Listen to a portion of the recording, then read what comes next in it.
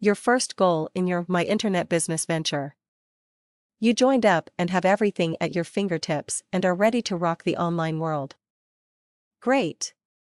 But have you stopped to consider what your very first goal should be in your new venture? This is an important point as it will set the tone for everything that you do related to your business from marketing to developing promotional material to dealing with prospects. And it will also set the tone for your profits. What is it? I hear you ask. Very simply, it is this your first goal, before anything else, is to ensure that the quality of your content is far above your competitors. Why is this important? Simple.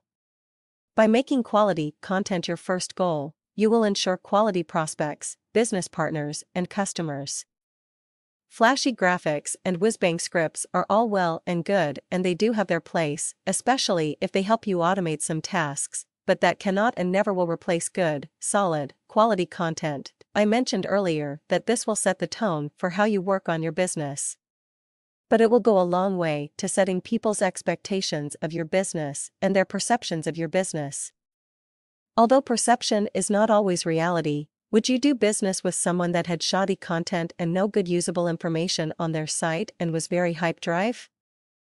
Or would you do business with someone who made the quality of their information a top priority and was more concerned with helping others make the right decision for them?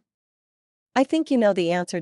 So, if you want to start things off right, focus on the quality of your content first and everything will come together.